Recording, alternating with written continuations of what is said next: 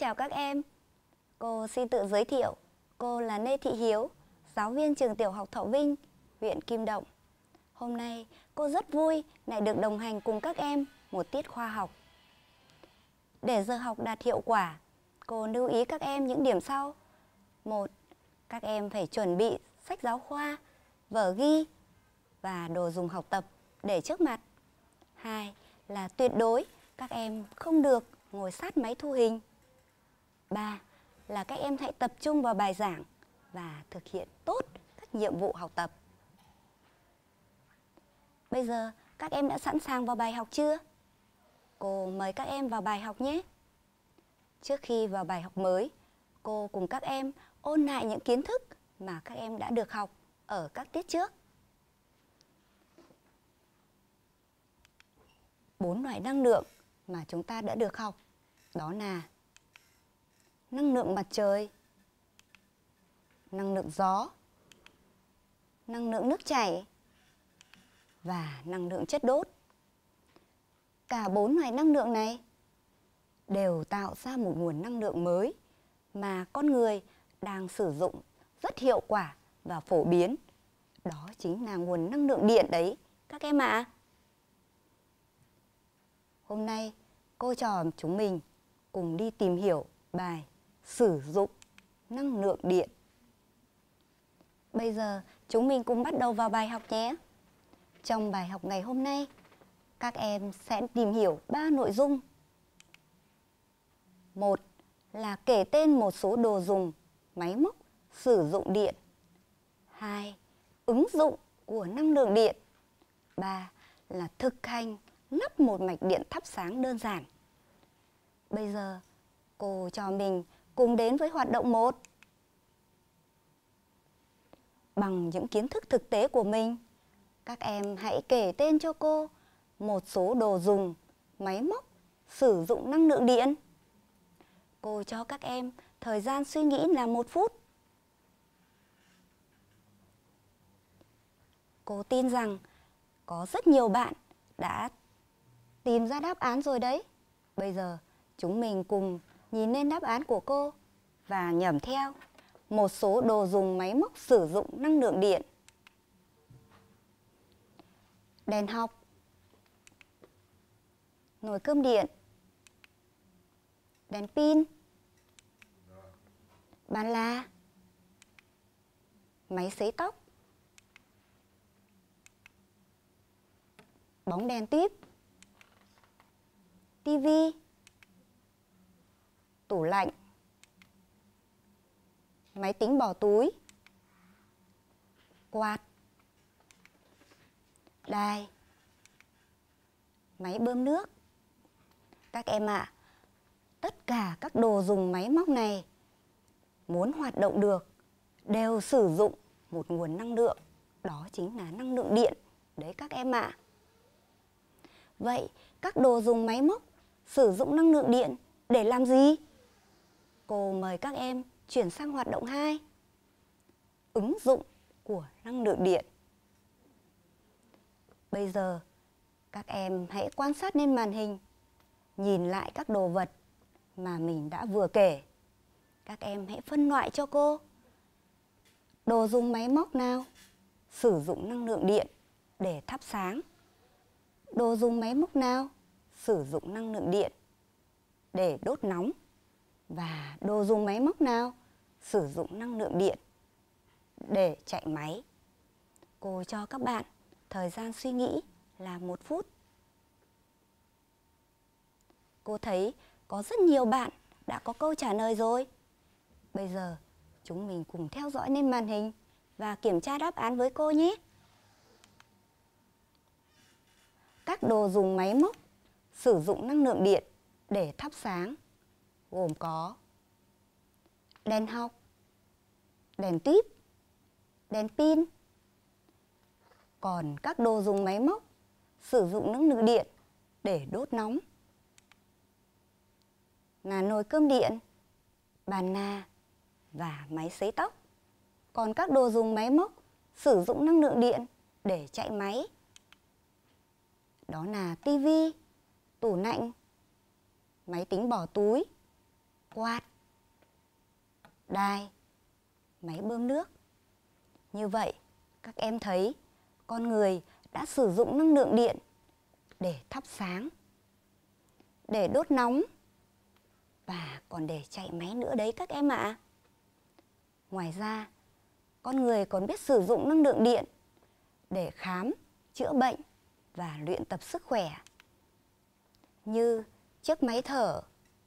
Đây là một dụng cụ rất cần thiết trong các bệnh viện và đặc biệt là cần thiết đối với bệnh nhân đang bị nhiễm virus corona. Còn đây chính là máy đo thân nhiệt, giúp các em kiểm tra thân nhiệt hàng ngày. Còn đây là máy đo nhịp tim. Các em muốn luyện tập sức khỏe thì các em cần phải làm gì? Chúng ta cần phải có các dụng cụ luyện tập thể dục sử dụng bằng năng lượng điện, phải không? Chúng ta thấy điện còn được sử dụng trong học tập trong thời điểm hiện nay khi dịch bệnh Covid-19 đang có những diễn biến rất phức tạp.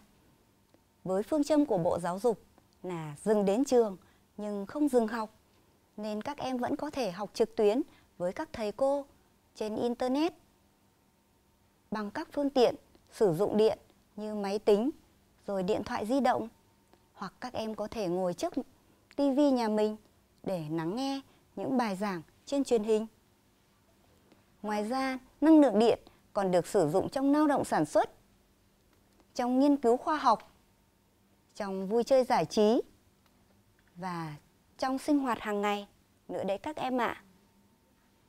Vậy, qua phần tìm hiểu ở trên, các em hãy trả lời cho cô. Con người sử dụng năng lượng điện để làm gì? Các em hãy suy nghĩ nào. Con người đã sử dụng năng lượng điện để chiếu sáng, để sưởi ấm, để làm lạnh, truyền tin. Chúng ta dùng năng lượng điện trong học tập, lao động sản xuất, vui chơi giải trí, sinh hoạt hàng ngày. Chính vì điện hữu ích và được sử dụng trong nhiều lĩnh vực như vậy. Nên điện đóng vai trò ngày càng quan trọng trong cuộc sống của chúng ta. Vậy các bạn có biết nguồn điện được lấy từ đâu không? Các em hãy suy nghĩ nào. Chắc hẳn các bạn đã có câu trả lời rồi phải không? À, nguồn điện được lấy từ các nhà máy điện chúng ta thấy do nhu cầu sử dụng điện ngày càng cao, cho nên nhà nước ta đã xây dựng rất nhiều các nhà máy thủy điện, nhiệt điện và các nhà máy điện khác nằm rải rác trên các các thành phố, tỉnh thành ở nước ta. Cô xin giới thiệu với các bạn, đây chính là nhà máy thủy điện Sơn La là một nhà máy thủy điện lớn nhất Việt Nam.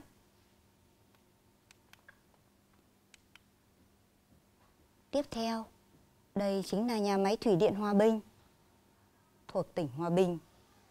Đây là công trình thủy điện đầu tiên trên sông Đà. Còn đây chính là nhà máy thủy điện Iali ở Tây Nguyên. Đây là nhà máy thủy điện lớn nhất ở vùng Tây Nguyên. Còn đây nữa, đây là nhà máy thủy điện Trị An thuộc tỉnh Đồng Nai. Đây là công trình được xây dựng thần tốc ở miền Nam lúc bấy giờ đấy các em ạ. Như vậy, các em thấy nguồn điện được lấy từ các nhà máy thủy điện phải không nào? Ngoài ra, nguồn điện còn được lấy từ các nhà máy nhiệt điện nữa đấy các em ạ. Cô xin giới thiệu, đây chính là nhà máy nhiệt điện Uông Bí của tỉnh Quảng Ninh. Còn đây là nhà máy thủy điện Quỳnh Nập thuộc tỉnh Nghệ An. Và đây nữa chính là nhà máy nhiệt điện Vũng Áng thuộc tỉnh Hà Tĩnh. Còn đây chính là nhà máy nhiệt điện Phú Mỹ ở tỉnh Bà Rịa Vũng Tàu. Như vậy, các em lại thấy được nguồn điện được lấy từ nhà máy nhiệt điện nữa đấy các em ạ. Ngoài ra, nguồn điện còn được lấy từ các nhà máy khác nữa. Như nhà máy điện mặt trời ở Ninh Thuận.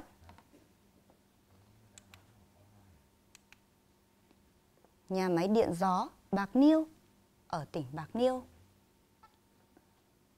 Như vậy, nguồn điện được chủ yếu lấy ở các nhà máy điện.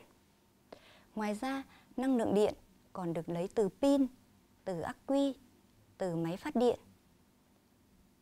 Như vậy, tất cả các vật cung cấp năng lượng điện người ta gọi chung là nguồn điện các em ạ. Làm thế nào để có thể đưa nguồn điện tới từng hộ gia đình? Xin mời các bạn xem một đoạn video sau. Sống của chúng ta, điện được sử dụng gần như trong mọi hoạt động hàng ngày.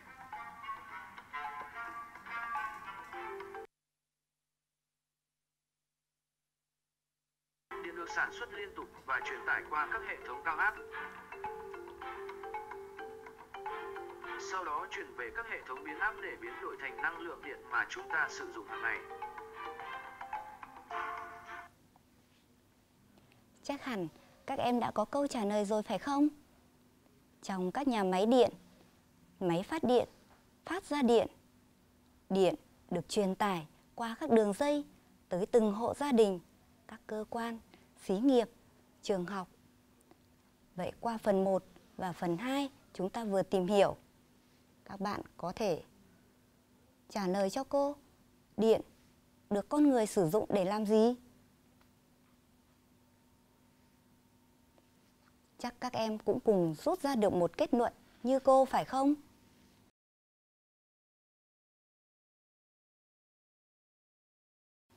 Các em có muốn trở thành một chú thợ điện tí hon hay không? Cô mời các em sang hoạt động 3. Thực hành lắp mạch điện đơn giản. Các em cùng quan sát lên màn hình, nghe cô giới thiệu. Đây chính là pin. Mỗi pin đều có hai cực. Đây chính là cực dương của pin. Có ký hiệu là dấu cộng trên thân pin. Còn đây chính là cực âm của pin và có ký hiệu là dấu trừ ở trên thân pin. Các em cùng quan sát lại một lần nữa để nhớ nhé. Tiếp theo, cô xin giới thiệu với các bạn, đây chính là bóng đèn. Phía bên trong của bóng đèn là dây tóc. Hai đầu dây tóc được nối ra bên ngoài. Khi có dòng điện chạy qua, dây tóc sẽ bị đốt nóng và phát ra ánh sáng. Còn phía dưới của bóng đèn chính là núm thiếc. Các em cần ghi nhớ thêm điều này nữa. Bây giờ chúng mình cùng quan sát sơ đồ một mạch điện thắp sáng đơn giản. Để nắp được một mạch điện thắp sáng đơn giản, các em cần những vật liệu sau. Pin, bóng đèn và dây điện. Đầu tiên, chúng ta sẽ chọn sợi dây điện màu đỏ. Một đầu, chúng ta nắp vào cực dương của pin.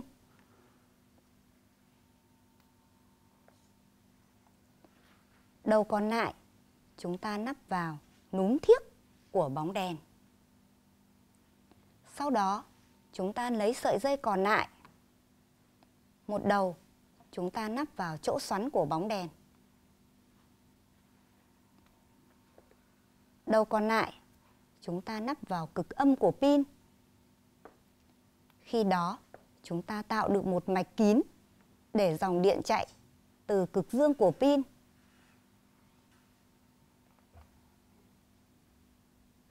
qua bóng đèn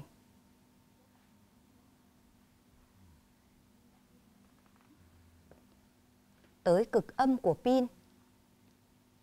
Khi đó, đèn sẽ sáng. Các em đã hiểu về sơ đồ một mạch điện thắp sáng đơn giản. Bây giờ, các em hãy cùng cô thực hành. Để thực hành nắp một, một mạch điện đơn giản, chúng ta cần các vật liệu sau. Một là pin. Hai là bóng đèn. Ba là dây điện. Các bạn chọn một sợi dây màu đỏ và một sợi dây màu xanh. Các em lưu ý, mỗi đầu sợi dây này các bạn đều phải tách vỏ dây điện ra một đoạn. Công việc này có thể sẽ nguy hiểm, các em có thể nhờ người lớn trợ giúp. Các em hãy chú ý quan sát cô nắp như sau. Trước khi vào thực hành nắp, cô lưu ý các bạn đó là chúng ta chỉ được sử dụng nguồn điện là pin vì điện có thể gây nguy hiểm đến tính mạng của con người. Nên khi thực hành, các em chỉ sử dụng nguồn điện là pin. Các em chú ý theo dõi cô nắp nhé. Đầu tiên, cô sẽ nắp pin là nguồn điện.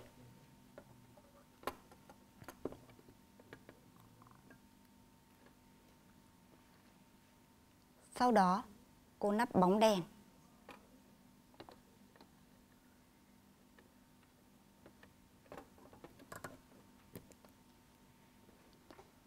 Cô chọn sợi dây màu đỏ. Một đầu cô sẽ nắp với cực dương của pin. Đầu còn lại cô nắp với núm thiếc của bóng đèn. Sợi dây điện còn lại một đầu, cô sẽ nắp vào chỗ xoắn của bóng đèn. Đầu còn lại, cô nắp với cực âm của pin. Các em hãy quan sát, hiện tượng gì đã xảy ra với bóng đèn. Cô nghĩ chắc bạn nào cũng quan sát được bóng đèn sáng, phải không nào? Vậy các bạn có biết vì sao mà bóng đèn lại sáng không? Các bạn hãy chú ý vào mạch điện.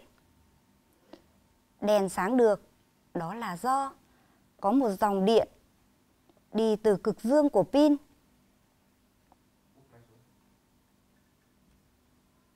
qua bóng đèn và đến cực âm của pin. Khi đó, chúng ta đã tạo được một mạch kín. Vì vậy, đèn sáng.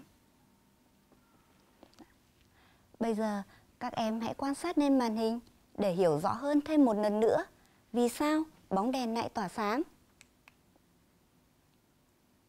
Các em hãy tập trung nhé.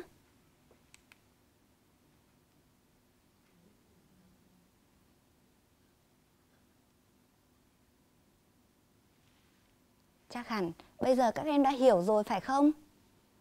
Đèn sáng được, đó là do có một dòng điện đi từ cực dương của pin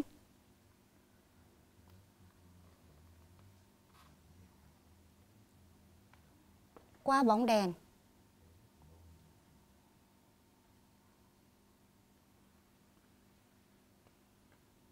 Và đến cực âm của pin. Như thế, chúng ta đã tạo được một mạch kín. Vì vậy, đèn sáng. Vậy, bây giờ cô có một số các mạch điện sau. Các em cùng quan sát.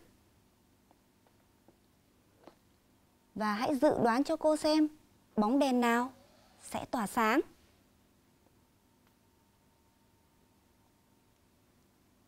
Cô thấy có rất nhiều bạn đã có câu trả lời.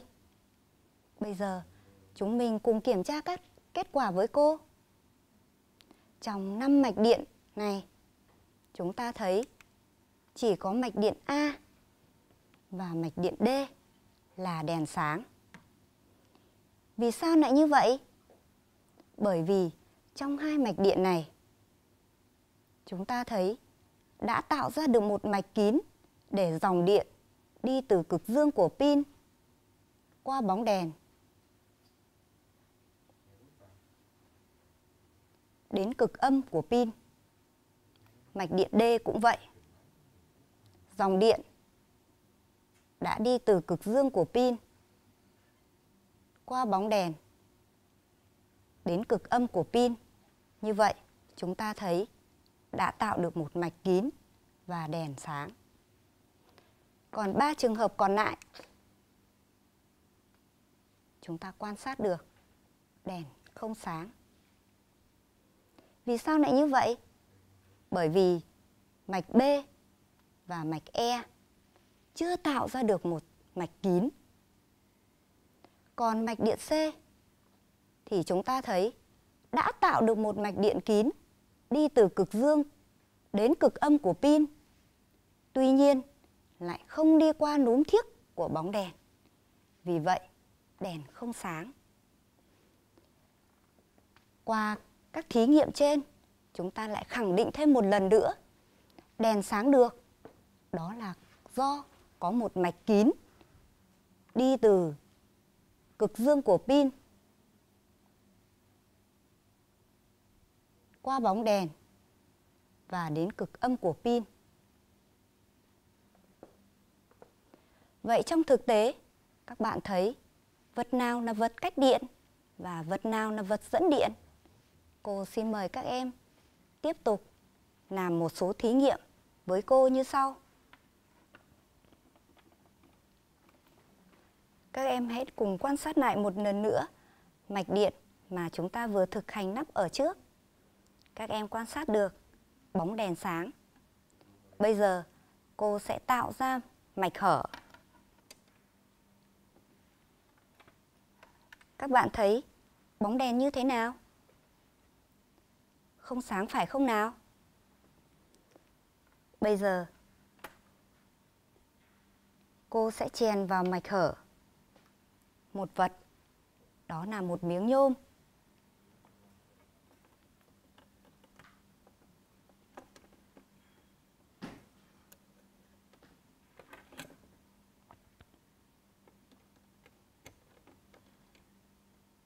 Các em chú ý quan sát bóng đèn.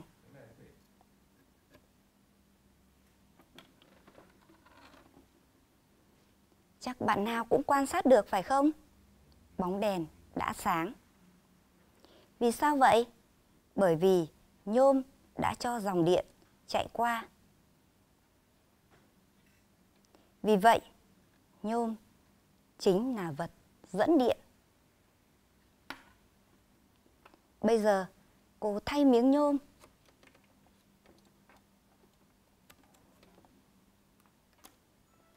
bằng một miếng nhựa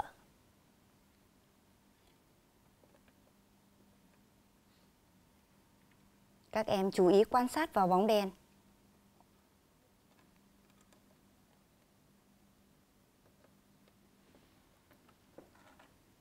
Chúng mình thấy bóng đèn như thế nào? Cô thấy có rất nhiều bạn trả lời, bóng đèn không sáng. Cô tuyên dương các bạn. Vậy các bạn thấy miếng nhựa đã ngăn dòng điện không cho dòng điện chạy qua. Vì vậy, đèn không sáng. Vậy miếng nhựa chính là vật cách điện. Cô lại thay miếng nhựa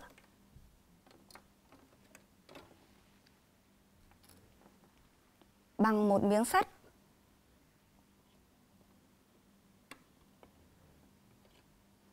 Các em lại chú ý quan sát vào bóng đèn nhé.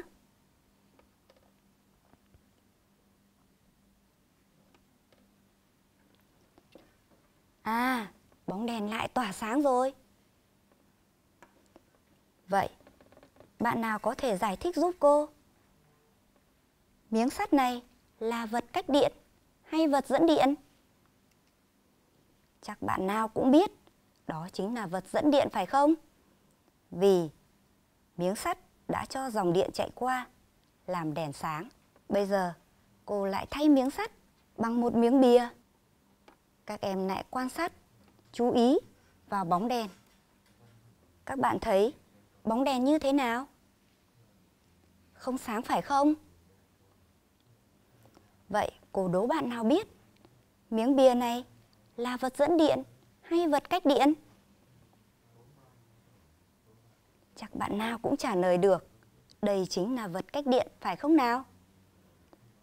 Thế bạn nào có thể giải thích giúp cô vì sao miếng bìa lại được gọi là vật cách điện? Chắc các bạn có câu trả lời rồi. Vì miếng bìa đã ngăn không cho dòng điện chạy qua, làm đèn không sáng. Vì thế, ta nói miếng bìa chính là vật cách điện. Vậy, qua các thí nghiệm vừa rồi, bạn nào có thể giỏi và thông minh trả lời cho cô? Những vật cho dòng điện chạy qua được gọi là gì? Các em hãy suy nghĩ nào. Các vật cho dòng điện chạy qua chính là vật dẫn điện. Thế còn ngược lại, những vật không cho dòng điện chạy qua được gọi là gì? Có rất nhiều bạn đã có câu trả lời. Các vật không cho dòng điện chạy qua chính là vật cách điện. Bây giờ, các em hãy cùng nhẩm lại kết luận một lần nữa cùng cô. Các vật cho dòng điện chạy qua gọi là vật dẫn điện. Các vật không cho dòng điện chạy qua gọi là vật cách điện. Ở trong gia đình của các em thường hay sử dụng rất nhiều những đồ vật bằng điện, ví dụ như những chiếc phích điện hay ổ cắm điện. Vậy các bạn hãy cùng quan sát lên đây. Cô có một cái phích điện. Các em hãy cùng suy nghĩ và tìm cho cô xem đâu là bộ phận cách điện, còn đâu là bộ phận dẫn điện. Chắc bạn nào cũng đoán được rồi phải không? Các em hãy quan sát nhé. Phần vỏ nhựa bên ngoài, chỗ mà chúng ta hay cầm để cắm điện, đó chính là bộ phận cách điện. Còn hai chân bằng kim loại, đó chính là vật dẫn điện. Hay trong dây điện, các em cũng thấy đấy, phần vỏ nhựa bên ngoài đó chính là vật cách điện. Còn nõi đồng ở bên trong, đó chính là vật dẫn điện. Vậy khi sử dụng phích cắm điện, các em cần lưu ý chúng ta cầm tay vào chỗ nhựa, bộ phận cách điện.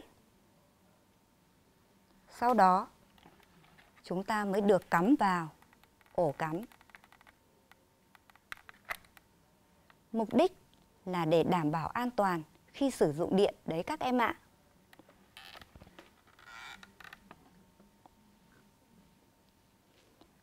Vậy, cô trò chúng mình vừa tìm hiểu xong nội dung bài sử dụng năng lượng điện. Bây giờ, chúng mình hãy cùng tổng kết lại những kiến thức mà chúng mình cần nắm trong ngày hôm nay.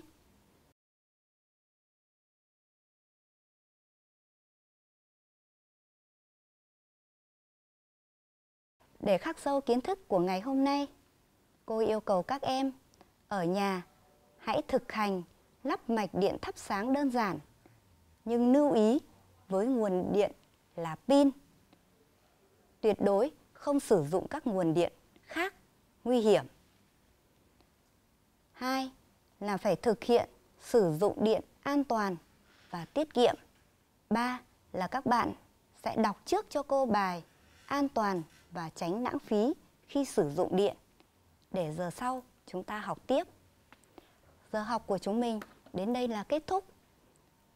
Cô chúc các em có nhiều sức khỏe, học tập tốt và tràn đầy năng lượng. Cô xin tạm biệt các em.